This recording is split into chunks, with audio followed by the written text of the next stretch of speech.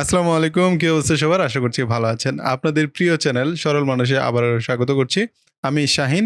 আমরা মূলত এই চ্যানেলে বিভিন্ন ধরনের বিজনেস সংক্রান্ত বিষয়াদি নিয়ে আলোচনা করে থাকি। তারই ধারাবাহিকতায় আজকে আমরা আরও পাঁচটা বিজনেস আইডিয়া আপনাদের সঙ্গে শেয়ার করব। এই ভিডিওটি স্পন্সর করেছে ওকে দোকান ডট কম এখান থেকে আপনারা বিভিন্ন ধরনের অরিজিনাল অথেন্টিক অফিসিয়াল গ্যাজেট আইটেমের পাশাপাশি আরও অন্যান্য প্রয়োজনীয় জিনিসপত্র সুলভ মূল্যে পারচেস করতে পারবেন। তাই ভালো মানের সঠিক প্রোডাক্টটি পারচেস করার জন্য এখনই ভিজিট করুন ওকে দোকান ডট কম মূলত যারা বিজনেস করতে যাচ্ছেন কিন্তু বিজনেস করার মতো পর্যাপ্ত পুঁজি নেই, কিন্তু মনে অনেক শখ যে একটা ব্যবসা যে করে হোক শুরু করা দরকার। তো কোনো ব্যবসায়ী আসলে প্রথম শুরুতেই আসলে কোটি কোটি টাকা ইনভেস্ট করে ব্যবসা শুরু করে না।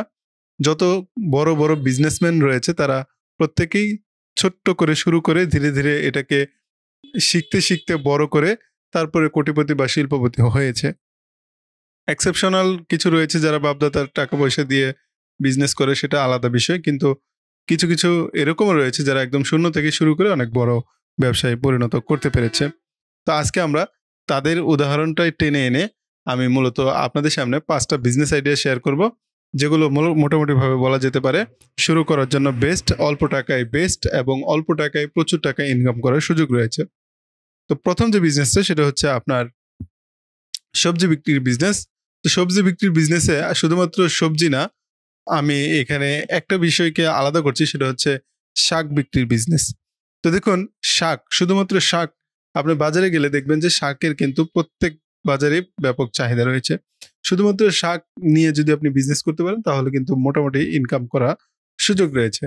ধরুন, আপনি আপনার যে এলাকায় বাস করেন, সেই এলাকার পাইকারি বাজার থেকে যত প্রকারের শাক আপনি- বাজারে পাবেন, সেই সবগুলো শাকের আইটেম আপনি মিনিমাম দশ বা বিশ আটি করে করে নিয়ে আসবেন। এনে আপনি আপনার এলাকায় আপনি যেখানে বাস করেন, তার আশেপাশে যদি বাজার থাকে, সেখানে বিক্রি করতে পারেন। তবে বিশেষ করে এটা শহর এলাকায় সবচেয়ে ভালো হয়। গ্রাম এলাকায় আসলে এই বিজনেসটা তেমন একটা মানে ডিমান্ড নেই বললেই চলে। কারণ গ্রামে আসলে শাকসবজি মানুষের বাড়িতে আশেপাশে হয়ে থাকে, সেখান থেকে তারা নিজেরা কালেক্ট করে আসলে রান্না করে খেতে পারে।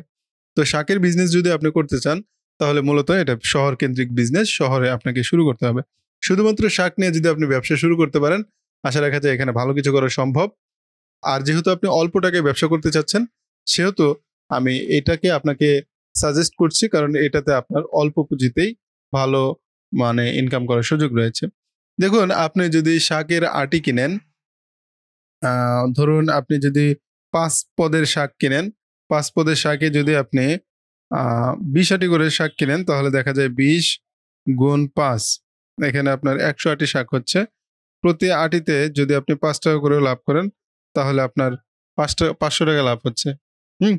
তো আপনি বিশ আটি না, আপনি যদি আরেকটু বাড়িয়ে আনেন, ধরেন প্রতি চল্লিশ আটি করে আনলেন, ধরেন চল্লিশ গুণ পাঁচ পদের শাক আনলেন, তাহলে আপনার দুইশো আটি দুইশো আটি যদি প্রতি আটিতে যদি আপনি পাঁচ টাকা করে প্রফিট করেন তাহলেও কিন্তু এক হাজার টাকা প্রফিট হচ্ছে। খুব সিম্পল হিসাব।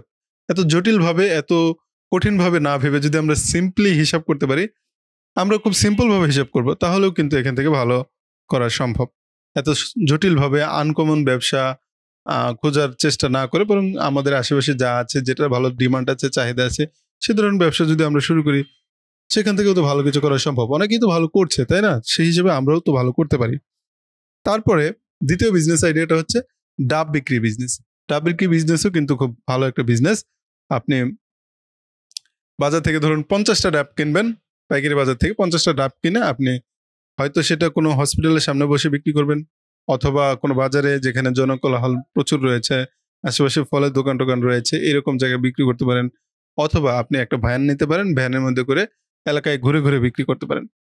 কিপস এটাও একটা সিম্পল হিসাব দিই। ধরুন আপনি পঞ্চাশটা ডাব আনলেন, প্রতিটা ডাবে যদি আপনি মিনিমাম বিশ টাকা করে লাভ করেন, তাহলে বিশ গুণ পঞ্চাশ। তাহলে এখানে আমাদের এক হাজার টাকা ডেইলি লাভ করা সম্ভব প্রফিট করা সম্ভব। তবে ডাবের বিজনেস আপনি শুরু করলে আপনাকে খেয়াল করতে হবে কোন এলাকায় ডাব ভালো চলে। যেসব এলাকায় ডাব চলে না সেসব এলাকায় নিয়ে যদি আপনি ঘোরেন, তাহলে কিন্তু হবে না। অবশ্যই হাসপাতাল আশেপাশে এগুলো বেশ ভালো চলে। কারণ যারা রোগী রয়েছে, তাদের কিন্তু প্রচুর পরিমাণ ডাবের চাহিদা থাকে, তাদেরকে বিভিন্ন বিভিন্ন সময় ডাব খাওয়াতে হয়। সেই হিসেবে হাসপাতালের আশেপাশে আসলে এই বিজনেসটা ভালো চলে। তো আপনি সেইভাবে জায়গা নির্বাচন করে করতে পারেন। আর যদি আপনি এলাকায় ঘুরে ঘুরে করেন, সেটা তো আলাদা বিষয়। তারপরে আমাদের কাছে তৃতীয় যে বিজনেসটা রয়েছে, সেটা হচ্ছে কাটিং টু ফিটিং নামে একটা বিজনেস আমি নাম নাম দিয়েছি। তো কাটিং টু ফিটিং এই কথাটা বললে অনেকেই কিন্তু আমরা বুঝতে পারি। সেটা হচ্ছে আমরা কিন্তু বাজার থেকে প্যান্ট অথবা শার্ট অথবা অনেক জামা কাপড় কিনি যেটা আমাদের সাইজ হয় না। যেটা সাইজ হয় না, সেটা আমরা কি করি? বিভিন্ন দোকান থেকে আমরা এগুলোকে কাটিং টু ফিটিং করে নিই, আমাদের নিজেদের মতো করে সাইজ করে নিই। আপনি খেয়াল করবেন, আপনি যে কোনো একটা মার্কেটের একটা কোনায় বসতে পারেন কিনা। একটা ছোট্ট একটা সুইং মেশিন নিয়ে নেবেন ইলেকট্রিক মেশিন হলেও হয়, অথবা আপনার এই যে ম্যানুয়াল পায়ে ঠেলে চালায় যেগুলো, এগুলো হলেও হয়। কাটিং টু ফিটিংয়ে আসলে তেমন কোনো কাজ নেই।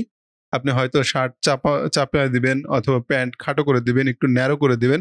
এই কয়েকটা কাজ, এই কয়েকটা কাজ যদি আপনি একটু কষ্ট করে কোনো একটা টেইলার্সের কাছ থেকে শিখে নিতে পারেন ট্রেনিং সেন্টার বর্তমানে গার্মেন্টস ট্রেনিং সেন্টার আছে প্রচুর। সেগুলো থেকেও যদি আপনি একটু কৌশলগুলো শিখে নিতে পারেন, অথবা ইউটিউবে প্রচুর ভিডিও রয়েছে। সেই ভিডিওগুলো দেখে যদি কীভাবে কাটিং টু ফিটিং এই কাজগুলো করে, সেগুলো শিখে নিতে পারেন, তাহলে দেখা যায় এখান থেকেও ভালো ইনকাম করার সুযোগ রয়েছে। যে কোনো একটা মার্কেটের যে কোনো এক কোনায়, এক কর্নারে আপনি একটা মেশিন নিয়ে বসবেন। আপনার দোকানের প্রয়োজনে, জাস্ট একটা কোনায়, কর্নারে আপনার একটা মেশিন নিয়ে বসে পড়বেন। আর একটা সাইনবোর্ড, মাইনবোর্ড এসব বানাতে পারেন, বানিয়ে একটু মানুষের ফোকাস পাওয়ার চেষ্টা করতে পারেন, তাহলে দেখা যায় যে এখান থেকে ভালো ইনকাম করা সম্ভব। দেখুন, একটা মেয়েদের একটা জামা বা থ্রি পিস সেলাই করার জন্য দেড়শো টাকা লাগে। তো সেক্ষেত্রে কি করতে হয়? একটা সেলোয়ার সেলোয়ার, একটা কামিজ পুরোটা সেলাই করে দিয়ে তারপর দেড়শো টাকা নিতে হয়।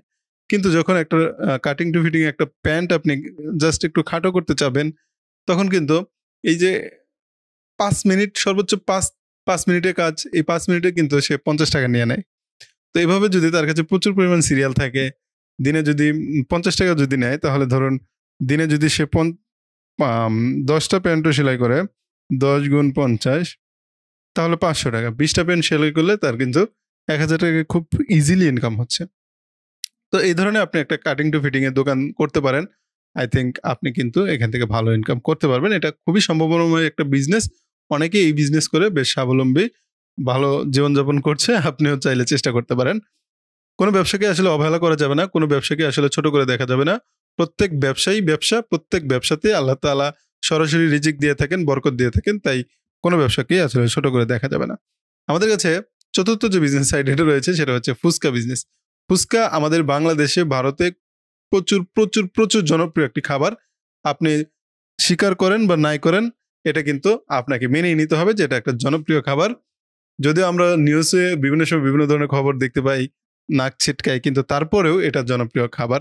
এটার বিজনেস রয়েছে এটা মার্কেট ভ্যালু রয়েছে, এটার অর্থনীতিতে এদের অবদান রয়েছে প্রচুর।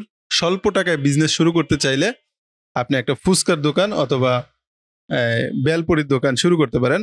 ফুচকা, বেলপুরি, চটপটি যেটাই বলুন না কেন, সবগুলো আইটেম মিলিয়ে একটা দোকান শুরু করলে এখান থেকেও কিন্তু ভালো ইনকাম করা সম্ভব। তো এটা করার জন্য আপনার কিন্তু তেমন একটা পুঁজির প্রয়োজন হচ্ছে না। হয়তো বা পাঁচ থেকে ছয় হাজার টাকা ইনভেস্ট করলে আপনি কিন্তু এই বিজনেসটা শুরু করতে পারেন। তো অনেকে আবার বলতে পারেন যে একটা ভ্যান বানাতে তো প্রচুর টাকা লাগে। প্রথম অবস্থায় আপনি কেন ভ্যান বানাতে যাবেন? আপনি ভ্যান না বানিয়ে প্রথম অবস্থাতেই একদম সাদামাটা ভাবে যেভাবে শুরু করলে আপনি পাঁচ, তিন, চার হাজার টাকার মধ্যে শুরু করতে পারেন, সেভাবেই শুরু করবেন। যে কোনো একটা মোড়ের মধ্যে যেখানে জনকোলাহল রয়েছে, সেরকম জায়গায় আপনি দোকান দিতে পারেন। অথবা আপনি একটা ছোট্ট করে পাত্র নিতে পারেন, সসপ্যান নিতে পারেন, বড় সাইজের একটা সসপ্যান। সসপ্যান, সসপ্যানটাকে রাখার জন্য একটা টেবিলের ব্যবস্থা করতে পারেন। নিয়ে তারপরে আপনি যে কোনো একটা স্কুলের সামনে বসতে পারেন অথবা যে কোনো একটা গার্মেন্টস অথবা অফিস আদালতের সামনে বসতে পারেন। সেখান থেকেও কিন্তু প্রচুর পরিমাণ সেল হওয়ার সম্ভাবনা রয়েছে।